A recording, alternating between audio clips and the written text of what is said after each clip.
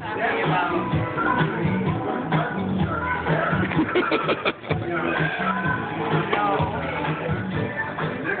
you. No, too late. You're trying to divert attention. I'm trying to.